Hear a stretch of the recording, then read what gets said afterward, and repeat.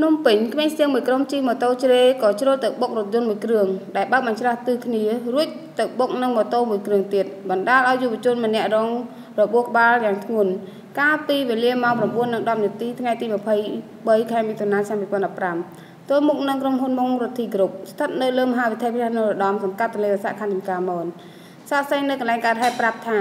គេឃើញម៉ូតូស្មាក់មួយគ្រឿងពណ៌ខ្មៅពាក់ស្លាកលេខភ្នំពេញ 1CK1451 ជីពីត្បូងទៅជើងលុះមកដល់ចំណុចកើតហេតុខាងលើក៏ជ្រុលទៅបុកនឹងរថយន្ត Lucy RX 330 មួយគ្រឿងពណ៌ទឹកមាសពាក់ស្លាកលេខភ្នំពេញ AB 4383រងការខូចខាតមួយចំហៀងខាងឆ្វេងនិងហួសទៅបុកម៉ូតូមួយគ្រឿងទៀតដែលជិះនៅពីក្រោយរថយន្តជិះដោយយុវជនម្នាក់ឈ្មោះសុភាកាណាល់ជានិស្សិតម៉ូតូម៉ាក C125 សង់ប៊ិចពណ៌ខ្មៅពាក់ស្លាកលេខកណ្ដាល 1S